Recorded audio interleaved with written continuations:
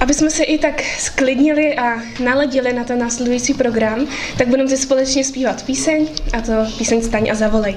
V této písni můžete zůstat sedět.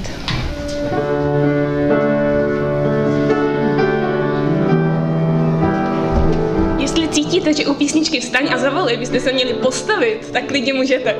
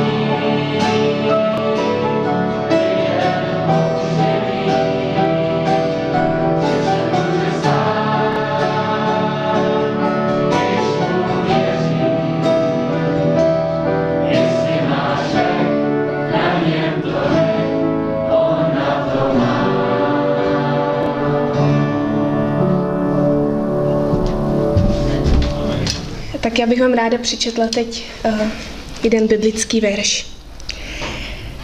Zasvěďte svá srdce Pánu Kristu a buďte připraveni podat odpověď každému, kdo se vás zeptá na důvod vaší naděje.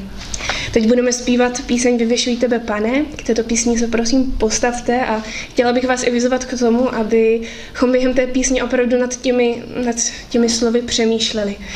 Potom zůstaneme stát k modlitbě s Eliškou Štipkovou.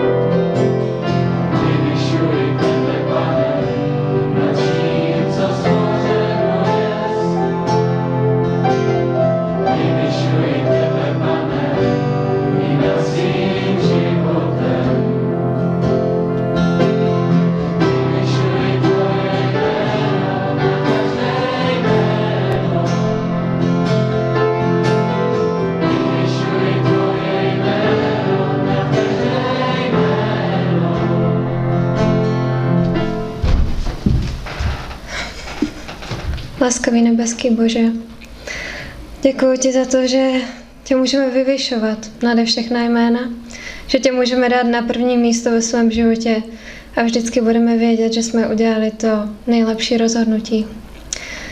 Tak bych tě chtěla prosit, aby si teďka se stoupil na nás svým duchem svatým, abychom se sklidnili, stišili před tvou, před tvým slovem. Dej, ať vůči němu máme respekt a úctu. A díky za to, že ty ten respekt a úctu dáváš v lásce. Tak nejlépe, jako jenom umíš. Tak nás teďka provázej. Podí se všemi, kteří tady nemohou být s námi, kteří jsou doma nemocní, posiluje, vedě. A já ti moc děkuju, že ti na každém z nás záleží. Amen. Amen. Teďka budeme mít příležitost zaposlouchat se do hudby, do hudby, do hudebního přednesu, tak i to vám přijde, abyste si užili.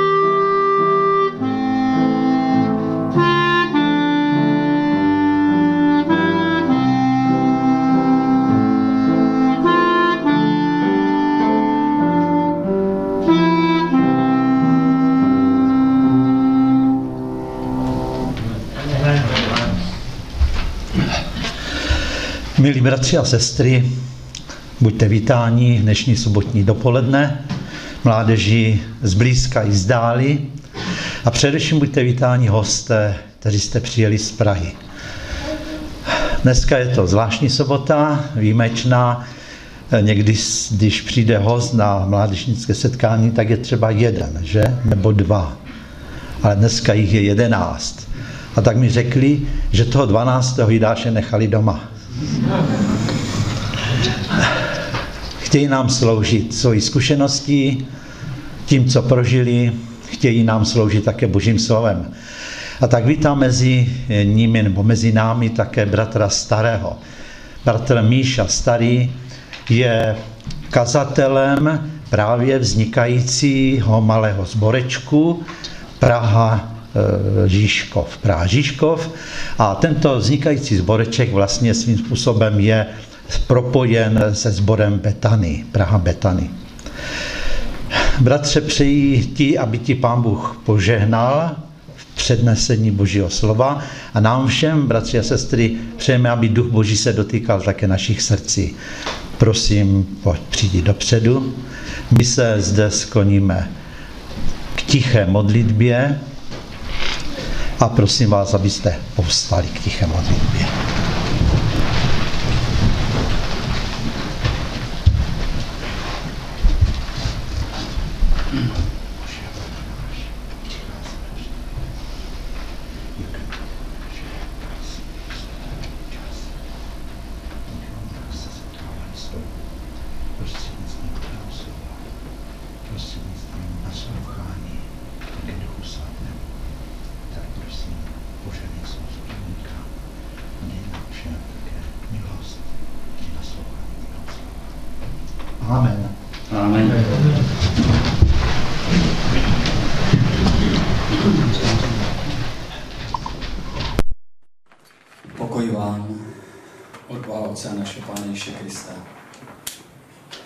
Jsem Pánu Bohu děčný, že jsme opět o jednu sobotu blíž Pánu Bohu a že se vzájemně můžeme posilovat ve víře.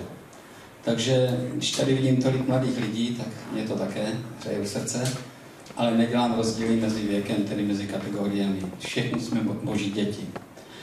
Uh, jestli jsem tomu dobře rozuměl, tak téma, které jsme dostali zadáno, bylo vztah s Ježíšem Kristem. Je to tak?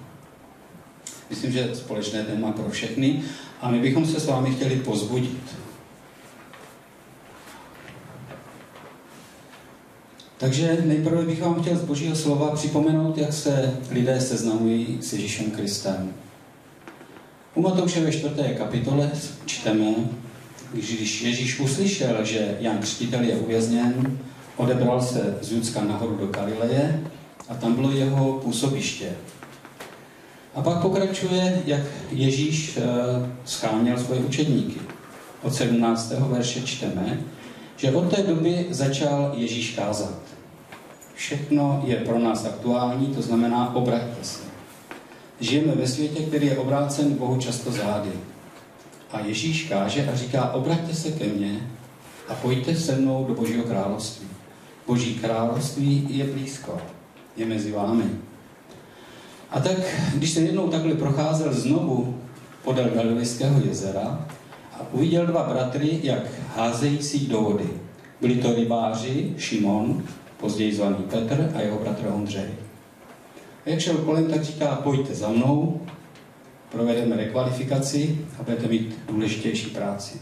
Budete rybáři lidí. A oni hned opustili sítě a šli za ním. A pan Ježíš jde dál a řekl bych, že povolává trošku tvrději. Hned v následujících verších čteme, poudešel dál a uviděl jiné dva bratry, také rybáře, Jakuba a Jana, jak na lodi se svým otcem Zebedem spravují sítě, zavolali je. A oni hned opustili loď i svého otce a šli za ním. Takže to jsou silná slova opustit svoji rodinu, nejenom loď, ale i svého otce. A to je divná rekvalifikace, víte, jak dneska se obchoduje. Jsou mnozí, kteří se živí sami za sebe, už tomu jinak rozumíme. A pan Ježíš říká, teď necháte svoji živnost a půjdete za mnou. Co to bylo za člověka, pan Ježíš? Máte představu, že se na ty lidi podíval a tu ráno se zvedli a řekli, jdeme za tebou? Já osobně tu představu nemám. Ale Ježíš několikrát chodil kolem toho Galilejského jezera, kolem toho moře a ty lidi znal. A protože se s nimi znal a trochu mu rozuměli, trochu mu věřili, řekl, věřili mu dost, když změnili zaměstnání. A když jim říká, pojďte, budete pracovat, spolupracovat se mnou, tak stali a šli. Ale nebylo to něco, že by se na ně kouzelně podíval, ale bylo tady přátelství. Jak se seznamoval dál, jak jednoduchá byla tato seznámení. Matouš 9. kapitola, Ježíš jde zase cestou, chodil, zdravý pohyb a potkal Matouše, celníka. A říká mu, pojď za mnou. A ten celník si dobře vydělával zase a říká, rekvalifikace. Budeš se mnou. A to je riziko. A dokonce ho pozval k sobě domů, to nebylo hnedka, že si říká, já každého pozvu ale těšil se, že bude měl. Pozval ho domů a přišlo tam mnoho výběrčích daní a samý hříšník. A jedli s Ježíšem a jeho učeníky. To znamená, lidi, kteří vycházeli, byli kontroverzní a pro tu společnost často nepřijatelní, se dá říct, vadili jim.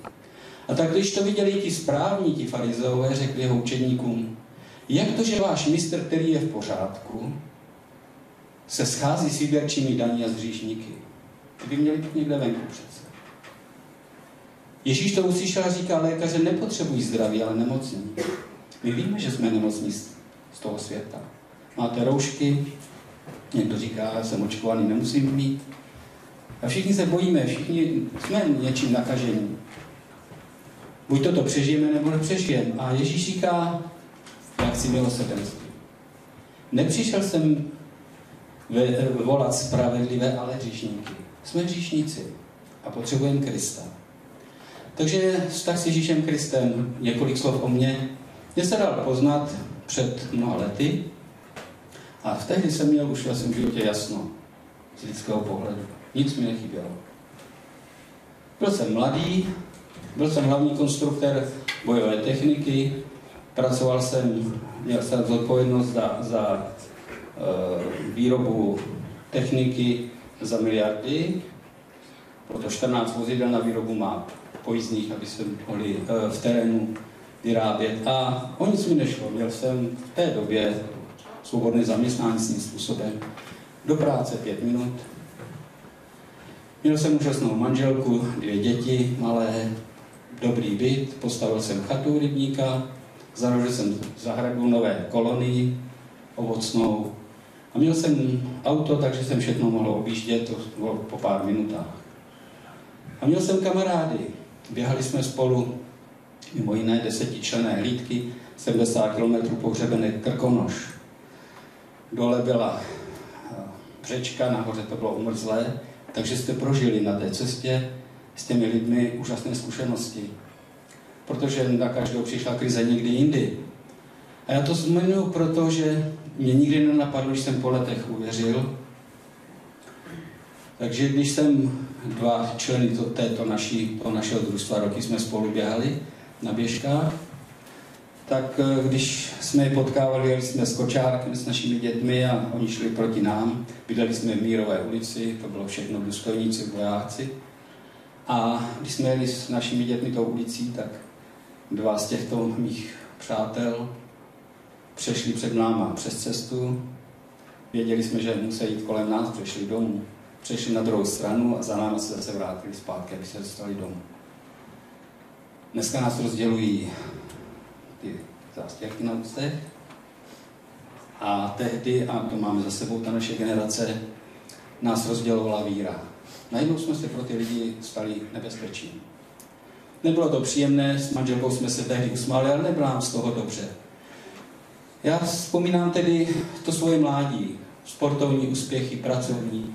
Měl jsem nějaké patenty, zlepšovací návrhy, koníčky. Koníčky zmiňuji proto, že jsem založil skupinu 16 lidí, takže jsem se měl dobře, tak jako si přejete vy. Co dál? V pohádkách se říká, že je šťastně až do smrti. Problém je, co potom, po té smrti. To byl trošku problém manželky, která se od mala uh, trátila, co je po smrti, protože byla malá, tak víte, ta přivedla, aby viděla dědečka, kterého měla ráda, protože to bylo v zimě, tak byl zastaný v posteli. Manželce tehdy bylo něco kolem 4 let. Od té doby měla problém s těma lidma, který máme rádi a zemřeli. Zmiňuji to proto, že Pán Bůh pro nás připravoval cestu, abychom i v této oblasti něco věděli. Takže ty naše koníčky nás tomu dovedly. Sehnal jsem, eh, aby, aby jsme byli lepší, sehnal jsem lektorku, která studovala tanec v Praze a když jsme měli soutěže, tak nejdřív s náma chodila a najednou bylo to v pátek večer a ona tam nepřišla, neumluvila se. Když mi to udělala po druhé, tak jsme si pozvali s manželkou domů a že jí nadá. Nakonec ní vylezlo, říkám to hodně stručně, že je věřící a že tedy nepracuje.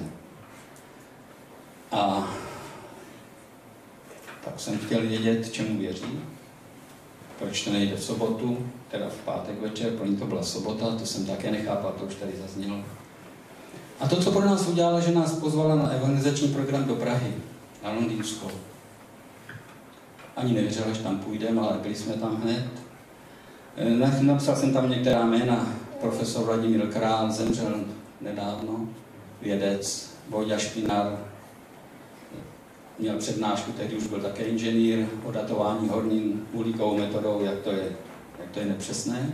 Marek Trměný, který léčil Gota, tehdy studoval. A proč vám to říkám a zmíním pár men, že to byli lidé, kteří, když stáli na tom podiu a za chvíli uvidíte mladé lidi, tak oni, oni o sobě vyprávěli, že věří Pána Boha. A já jsem jim to věřil. A nechápal jsem to. Proč oni takhle eh, úžasní lidé, viděl jsem je poprvé, ale já jsem viděl, že mají něco, co jsem neměl. Oni věřili v Boha. A já jsem věděl, že věří. A nechápal jsem to. Další sobotu jsme se vrátili domů do Dobrušky A byli jsme pozváni do sboru. A my jsme tam hnedka šli. Ten sbor byl tak starý jako sbor Žižkov, momentálně, jak to máme my. Tehdy měl asi dva měsíce setkávání, ale to jsme nevěděli.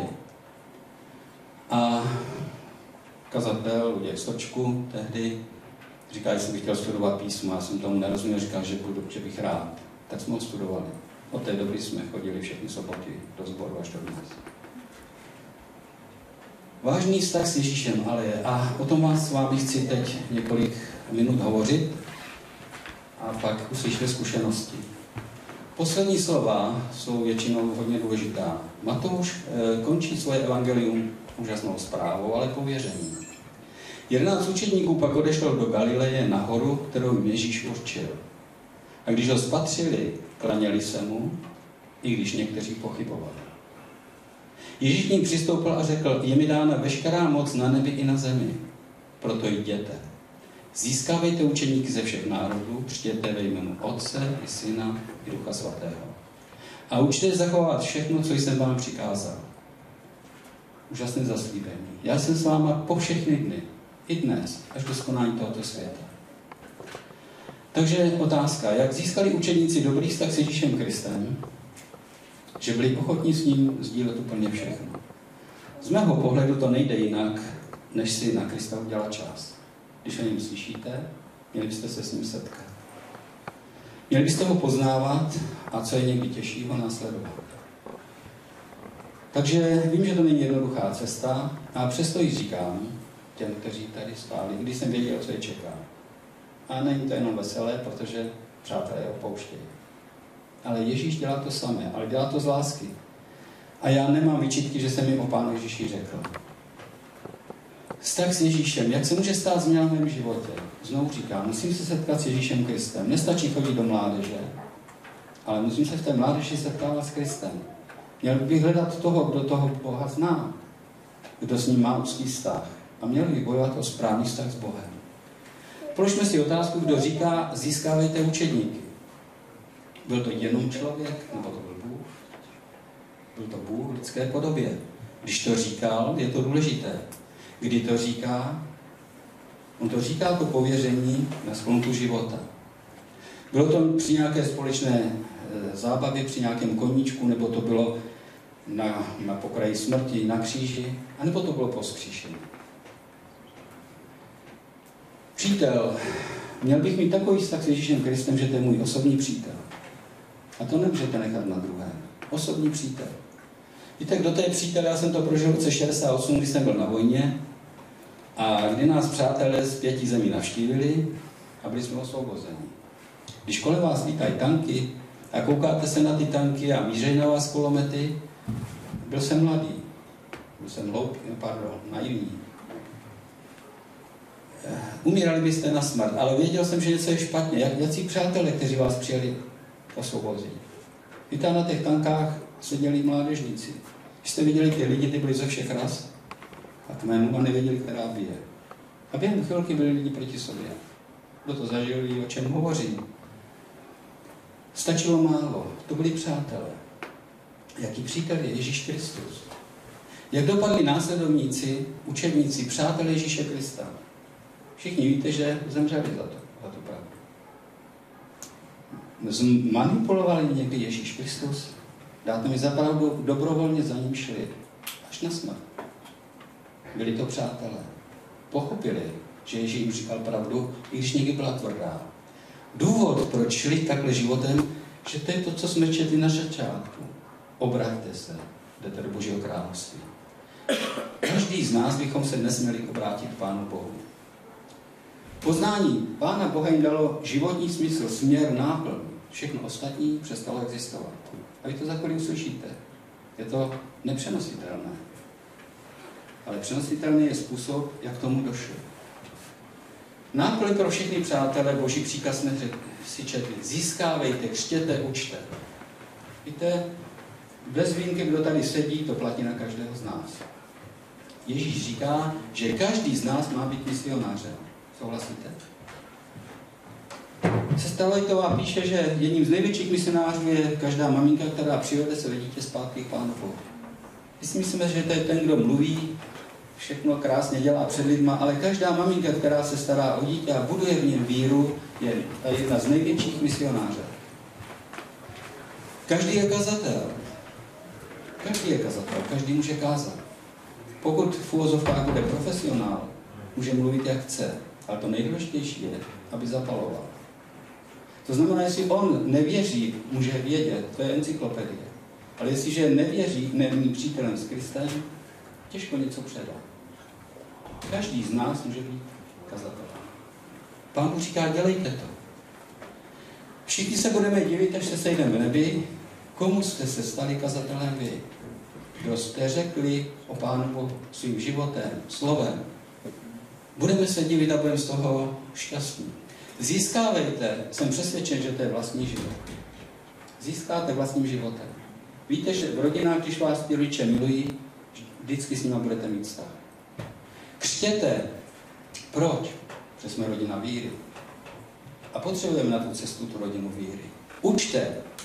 To je vlastní slovo. To je vlastní, eh, co máme dělat, co máme učit v té službě. Kaž slovo Boží. A kaž slovo Boží neznamená jenom mluvit. Ale kážete i tehdy, když s ním chodíte. Nemusíte mluvit. Ale každý ví, a za chvilku vám chci něco zdůraznit, co mě oslovilo z těchto přátel, jak Pán pracuje. Tedy v jakém vztahu s Ježíšem Kristem jsem. Nejsme jenom studenti. Teď jste vy mládežníci studovali někde vedle, nevím co, ale věřím, že to bylo Boží slovo. Všichni jsme studenti. Každý jsme někde na cestě, ale jde to dál, my máme být učedníci. A učedník je ten, který nejenom studuje, ale on to dělá. To znamená, co slyšíte, nejenom od bratra, ale od svého, já nevím, možná bratra rodného, od Boha, tak to dělejte. Učedníci. Jsme učedníci mistra, ale my jsme následovníci. To znamená jeho službě. Měli bychom tu službu pokračovat. Tedy naslouchat, měl bych to pochopit, měl bych to praktikovat, to je jednoduché, a někdy ne. Měl bych učit druhé a měl bych se radovat. Není to jednoduché. To pověření už jsme si četli. Závěrem, věříte tomu, že to je pravda, co jsem řekl? Je to Boží slovo. Každý z nás to bude aplikovat svým způsobem. Pochybujete o tom? My jsme četli, pochybnost není špatná věc. Pán Bůh vám dá další ukazy, abyste na něho více spolehli. My jsme četli, že jste tam shromáždili, někteří pochybovali. Přijde na vás chvíli, kdy pochybujete. A to neznamená, že jste ztratili víru. Jen si říkáte, jak to mám dělat. Výsledek? Všichni budeme bez výmluvy. Máme tam tři pověření. Už jste je slyšeli, získávejte, křtěte, učte. Pro každého z nás. Takže učeníci a jejich vztah s Ježíšem Kristem. Já bych poprosil, aby přišli učeníci z Prahy. Protože to nejsou jenom studenti, to jsou učeníci. Já bych prosil, aby nastoupili. Dan Dvořák, Senvelo, Tereza s maminkou tady není, tak tomu něco řeknu. Baronka Honzík, píše s maminkou, Jitka Rendáš, no. Můžete přijít sem to takhle představit.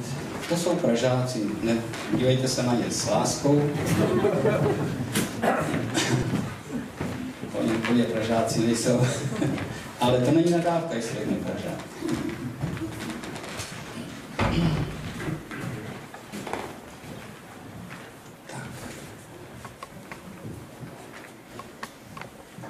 Takže Dan a Sembelo.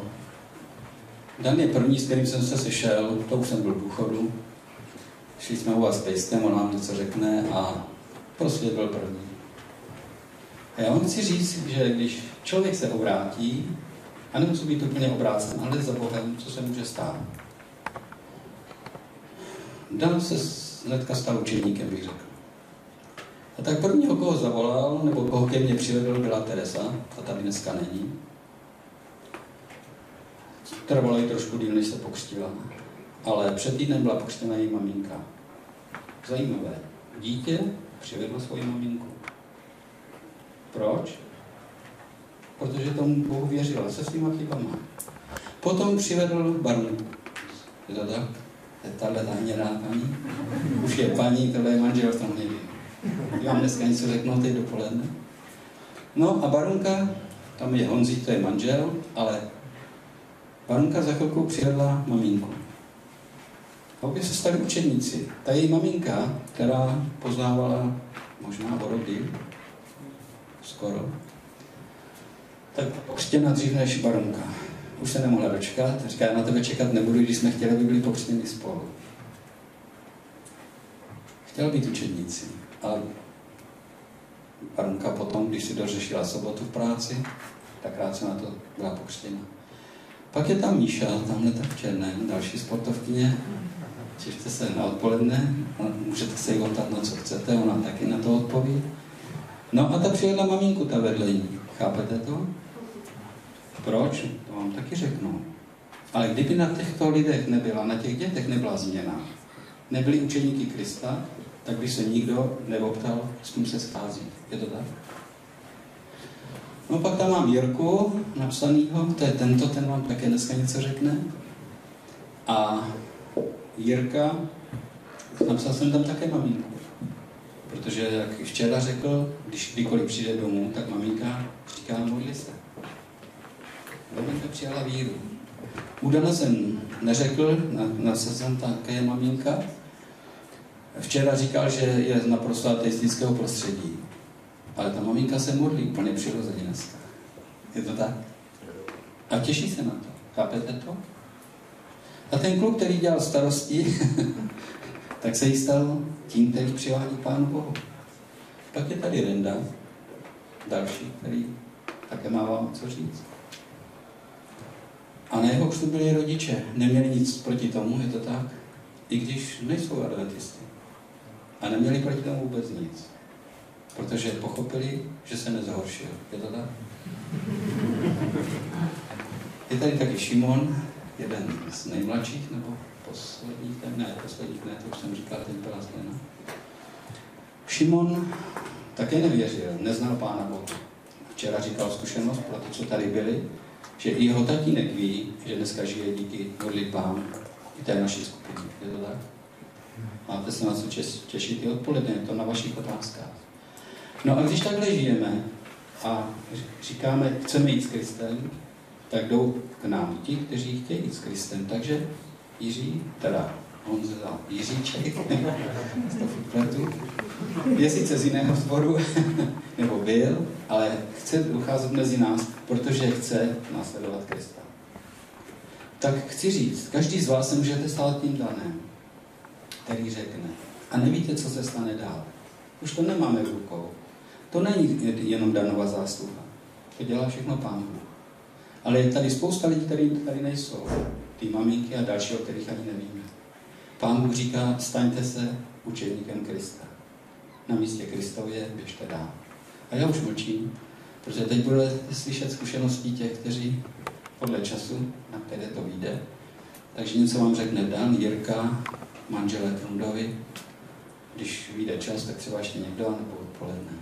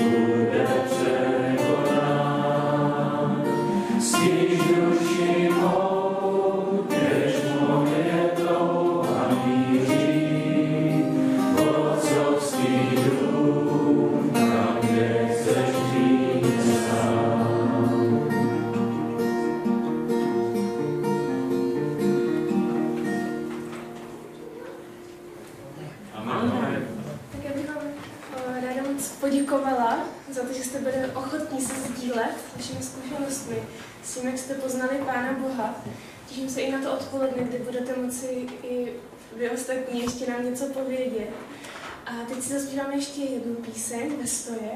Pro Ježíše nikdy neváháme. A potom bych poprosila o modlitbu bratra starého.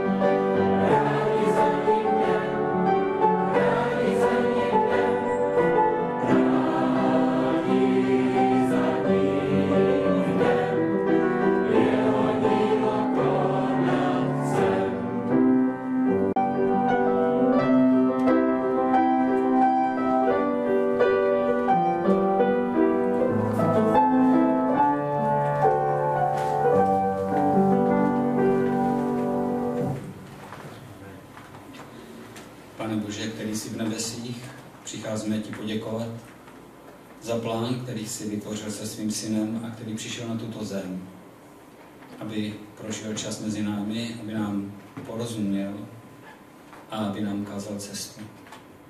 Děkuji ti, že jsi nás vrátil znovu k sobě a že máme šanci žít s tebou věčně. Chceme ti poděkovat za ty, kteří šli tou cestou před námi a zanechali nám toto poselství, včetně této písně. Za to, že chceme jít podobně jako mnozí, kteří šli před námi a stále je to život, ale nechtěli tě zradit. Vyznáváme svoji slabost a bez tebe nemůžeme nic učinit, jak také suša konstatuješ. Ale děkujeme ti, že když tobě přijdeš, jsi schopen měnit naše životy. To znamená naše myšlení a následně i konání. Chci ti poděkovat za ty, kteří se s námi dnes sdíleli a vyjádřili také i tu svoji bídu, tu naši lidskost, to, co vyvádíme, když o tobě nevíme. Děkuji ti za to, že byli ochotni nám a pro nás říct si tuto cestu. Děkuji ti, že i tímto způsobem nás varuješ a moc tě prosím, abychom se vnímali jako jedna rodina a jeden za druhého bojovali, jak na modlitbách, tak také prakticky. Prosím, oslav se ve svém lidu, tuto chvíli i v nás. Ať si nás pošleš kamkoliv, abychom věděli, s kým chceme jít životem, s kým chceme utvořit smlouvu a také, abychom bytostně přijali, že s námi chceš trávit věčnost. Ať nad tím přemýšlíme bez ohledu na to, co je kolem nás. Pomoc všem těm, kteří bojí i o ten tělesný život díky těm nemocem, všem, aby ale zaslechli tvůj hlas, vzpomněli si, kdy jsi je oslovoval a nepropásli tuto příležitost. Prosím, oslav se i v průběhu tohoto dne. Požehnej i všechno to, co zde bude prožíváno, včetně stravy. Požehnej těm maminkám, všem těm, kteří připravili to jídlo. Děkujeme ti za to, pane. Poženej i odpolední program vzájemné sdílení. A den se rozjedeme jako ti, kteří chtějí být tvými učedníky, následovníky. Sami to nedokážeme, tak s pokorou v srdci chceme vyznat, pane, staň se tvá v našich životech. Prosíme o to, chválíme tě za to a zároveň děkujeme. Drahý jméno Ježíše Krista. Amen. Amen.